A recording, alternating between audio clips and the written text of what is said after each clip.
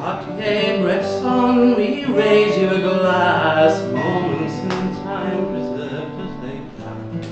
Celebration and turmoil, frozen and still. You showed us the world in 35 mil. Paris and Africa, peacetime and war, what you chose to print was just what you saw. With your Leica, you gave us the everyday we see the world in a different way.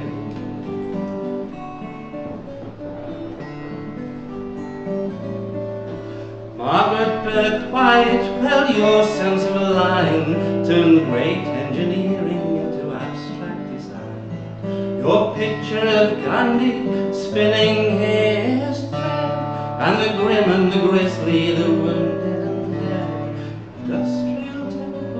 of the communist bloc and the Second World War, the horror and shock. You showed us the Dust Bowl and the soup kitchen cubes. You put compassion back in the news.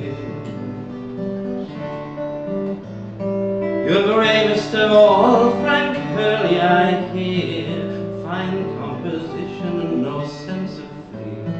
In the bitter Antarctic, your dishes were would but your pictures belie that you did it with ease.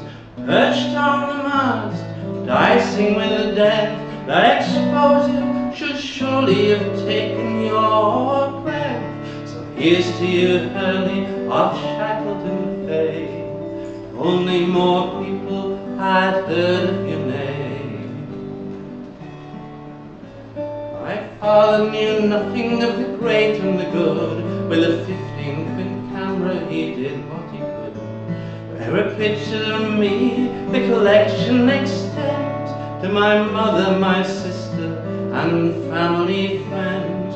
My childhood relived, each shot is filled with care and affection, attention and skill. Some carefully posed, some snapped on a whim. Just wish we had more pictures of him.